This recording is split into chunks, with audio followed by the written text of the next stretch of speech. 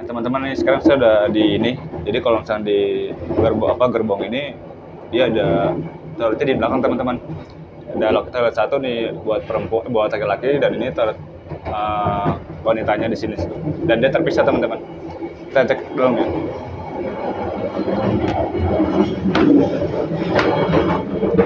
Nah ini ada ada fasilitasnya teman-teman ada buat cuci tangan dia airnya mengalir wastafel air sabun mengalir teman-teman. Ini ada buat nyiram kalau buat air besar buang air kecil teman-teman. Ini ada shower air nyala ada tisu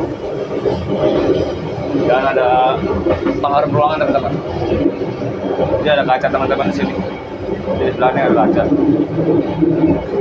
Kalau itu nggak ya nggak bau bau nggak bau bau banget sih wangi sih dan ini ada tempat yang saya dudukin teman-teman. Uh, di sini ada fasilitasnya terdapat uh, sebuah yang menaruh botol teman-teman di sini.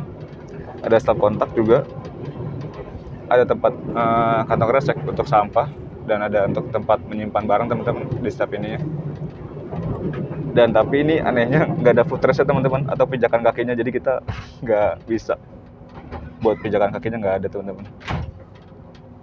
Nah untuk gantungannya ya nggak tahu deh itu punya kita apa atau punya orang. Atau kita nggak dapat sama sekali teman-teman. Kalau ini sih ada sebuah empat unit TV teman-teman. Eh delapan ya. Delapan unit TV yang tersedia di sini. Dan di sini menggunakan AC sentral teman-teman dalam dari Prakarta dari Bekasi lintas Bekasi ke sana aslinya nggak aslinya saya kira nggak bisa nggak begitu dingin teman-teman. Ternyata emang sampai stasi apa jembatan Semang tadi cukup dingin juga AC-nya. Dan ini adalah tampilan teman-teman dari uh, eksekutif teman-teman. Mungkin ini nah teman-teman. Dari segi fasilitasnya di sini ada, ada ini teman-teman ada kantong resek untuk menyimpan sampah ada dua stop kontak yang buat stop buat ngecas. Dan ini tempat duduk teman eh tempat botol teman-teman. Dan ada ini juga untuk menggantung tas atau semacamnya. Dan nah bedanya di sini ada lampu baca teman-teman. Kalau kita ini aktif enggak ya? Wah, aktif teman-teman. Ini lampu baca di sininya. Nah, dan sini ada pijakan. Kakinya teman-teman beda bandingin sama yang bisa kita atur teman-teman. Kayak gitu tuh. Nah, ternyata yang di yang di eksekutif ini ada teman-teman. Nah, ini adalah dan itu begitu teman-teman bagasinya bagasi dari untuk penyimpanan uh, koper atau atas bagasi pesawat teman-teman dan eksekutif ini bisa di bisa di ini teman-teman. Nah bisa dibalikin. Nah bisa dibalikin teman-teman. Karena kalau di eksekutif ini pintunya bisa eh tempat duduknya bisa disesuai arah jalan kereta teman-teman. Kayak gitu tuh. Nah kayak gitu teman-teman. Dan tempat bangun juga cukup cukup ini teman-teman. Tebal juga. Nah ini teman-teman kalau kita perhatiin ada ada sebuah reclining yang mulai terpencet. Nah ini ada ini teman-teman. Di sini ada meja lipat.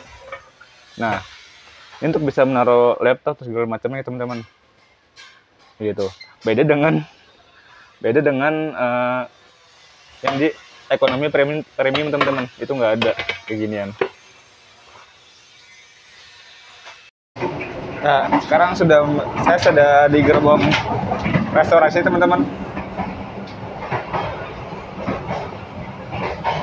Jadi ini ada, ada empat tempat buat sholat di sini. Ini ada di sedalah juga di sini. Ya cukup dua orang teman-teman kalau di ini.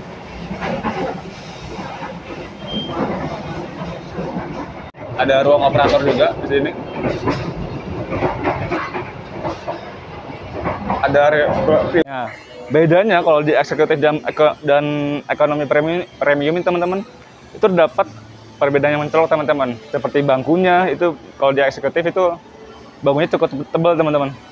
beda dengan eksekut dengan ekonomi premium teman-teman dan dan kalau di eksekutif itu terdapat ada lampu baca teman-teman dan di, di, di eksek, eksekutif itu terdapat sebuah reclining teman-teman. Ada meja lipat di dalamnya. Dan di, dan di ekonomi premium itu nggak ada teman-teman. Kayak gitu